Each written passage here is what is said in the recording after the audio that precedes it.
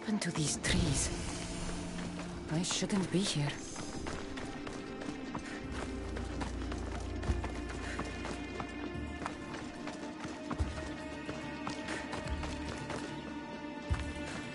What is this place? It's empty of life. We enter the realm of the Riding Dread. Listen. It's as if sound itself is afraid of what the fog veils. It's getting hard to breathe. Even the air is... dead. These statues are unnervingly lifelike. Their faces are contorted in fear. It destroys all living things, transforming them to stone and leaving them frozen in fear for all eternity. If Ligia, if she's... if she's stone, how will we bury her? She'll never meet Charon.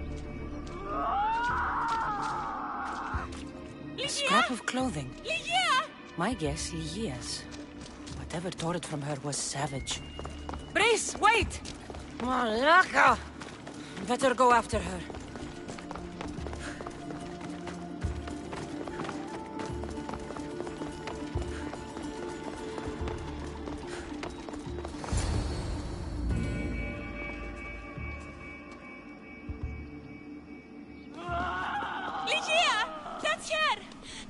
She's alive!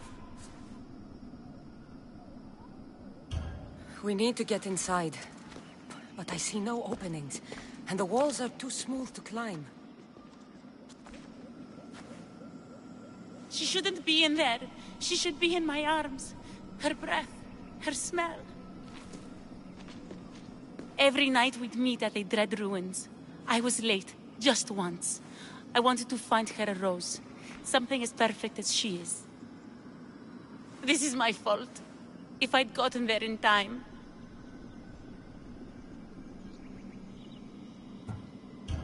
Then you'd both be trapped inside.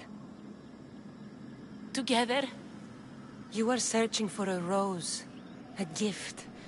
Never regret an act of kindness, Brice. thank you.